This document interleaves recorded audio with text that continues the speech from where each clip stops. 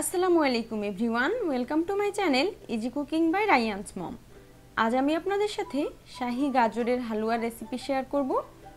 এটা তৈরি করা খুবই সহজ এবং খেতেও অসম্ভব মজার। চলুন তাহলে দেখে নেওয়া যাক কীভাবে এই মজাদার গাজরের হালুয়া তৈরি করতে হয়।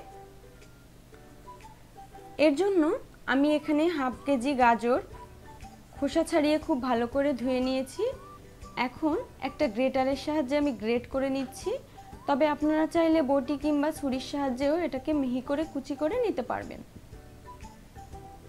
তবে অবশ্যই মিহি করে কুচি করে নিতে হবে। এভাবে সবগুলো গাজর আমার গ্রেট করে নেওয়া হয়ে গিয়েছে। এখন চুলায় একটি প্যানে তিন চা চামচ ঘি দিয়ে দিচ্ছি। ঘির পরিবর্তে এখানে বাটারও ব্যবহার করা যাবে। ঘি বা বাটার কোনোটাই হাতের কাছে না থাকলে সেক্ষেত্রে রান্নার সয়াবিন তেলও ব্যবহার করতে পারবেন, তবে টেস্টটা এত বেশি ভালো আসবে না। এখন এর মধ্যে দুই তিনটা এলাচ ও দুই টুকরা তেজপাতা দিয়ে হালকা একটু ভেজে নিয়ে এর মধ্যে সেই গ্রেট করা গাজরগুলো দিয়ে দিচ্ছি। চুলার আঁচ মিডিয়ামে রেখে গাজরগুলোকে অনবরত নেড়ে ঘিয়ের সাথে ভেজে নিব। গাজরটা কিছুটা সফট হয়ে যাওয়া পর্যন্ত। গাজরটা অনেকটাই সফট হয়ে গিয়েছে। এখন এর মধ্যে দুইশো গ্রাম গরুর দুধ দিয়ে দিচ্ছি। হাফ লিটার দুধ আমি জাল করে দুইশো গ্রাম করে রেখেছিলাম। এখন সব কিছু একসাথে মিশিয়ে নিয়ে এর মধ্যে হাফ চা চামচ লবণ দিয়ে দিচ্ছি। এখন সব কিছু একসাথে ভালো করে মিশিয়ে নিয়ে চুলার আঁচ মিডিয়ামে রেখে ঢাকনা দিয়ে ঢেকে দিব। দুধটা টেনে গাজরটা কিছুটা সিদ্ধ হয়ে যাওয়া পর্যন্ত। বেশ কিছুক্ষণ পরে দুধটা অনেকটাই টেনে গিয়েছে, এখন একটুখানি নেড়ে চেড়ে এর মধ্যে এক কাপ চিনি দিয়ে দিব।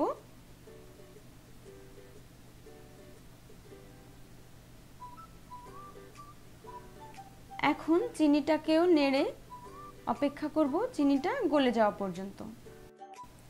সম্পূর্ণ চিনিটা গলে অনেকটাই পানি বের হয়েছে, এখন চুলা রাসটা বাড়িয়ে দিয়ে এই পানিটাকে টানিয়ে নিতে হবে। বেশ কিছুক্ষণ জাল করার পরে চিনির পানিটা অনেকটাই টেনে গিয়েছে। এখন এই হালুয়ার টেস্টটা বাড়ানোর জন্য আমি কোয়ার্টার কাপ গুঁড়া দুধ দিয়ে দিচ্ছি। হাতের কাছে গুঁড়া দুধ না থাকলে বাদ দিতে পারবেন, তবে চেষ্টা করবেন গুঁড়া দুধটা দিতে। এখন গুঁড়া দুধটা খুব ভালো করে মিশিয়ে নিয়ে আমি এখন এর মধ্যে দুই রকমের বাদাম ব্যবহার করছি।